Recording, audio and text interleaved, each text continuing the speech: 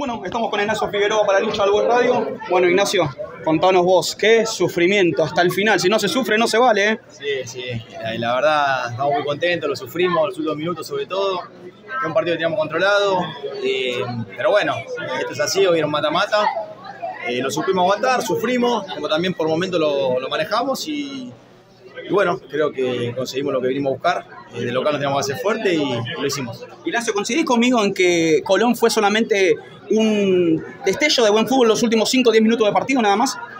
Sí, fue un partido muy peleado, creo. Eh, el empate me parece bien, porque tuvimos situación nosotros, tuvieron ellos en el final, los últimos 10 sobre todo, que nos cansamos y se nos venían por una cuestión de empuje, del gol que, que los levanta y todo, pero creo que han hecho un gran partido tanto ellos como nosotros. Fue un, fue un lindo partido. El campo de juego no estaba quizás en las mejores condiciones, muchos rebalones también hubo. Estuvo muy rápido, no, igual sí, estaba hermoso, ¿eh? pero estaba rápido, ¿viste? Eh, el, el agua que cayó y todo, creo que fue, fue bastante determinante. Hablamos con muchos de tus compañeros que nos decían que el campeonato este ya está, ya terminó la fase regular, ahora viene San Martín, un rival que goleamos y que sufrimos eh, también una goleada en San Juan.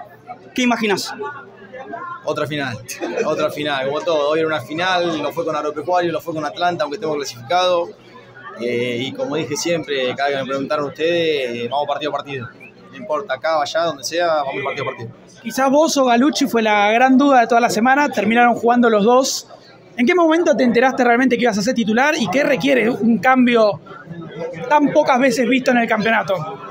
No, cuando hicimos fútbol, eh, el técnico para el equipo, eh, y bueno, se decidió por nosotros dos. Creo que, nos complementamos bien hoy, tanto con él, después con Juanpi. Venía una lesión, Galu, por eso tuvo que, abandonar el campo, pero creo que en esa posición lo hizo muy bien, nos complementamos bien, como te digo, y, salió bien. Vamos a ver ahora el partido que viene que, decide Mariano, pero eh, que le toque lo, lo hacer de la mejor manera. ¿Qué balance haces a nivel general del partido? ¿Por qué el Boys termina clasificando?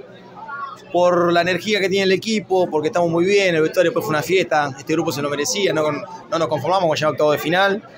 El sueño que tenemos todos es eh, lo más alto posible, terminar lo más alto posible y con lo más alto posible no me refiero a un cuarto de final ya nos conformamos.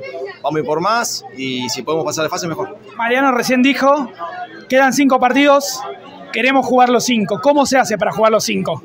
Concentrados, apuntando a eso, a jugar a los cinco, a no conformarnos y ahí por más, ir partido a partido. Ahora jugamos el sábado, no sé, nos dijeron, o domingo.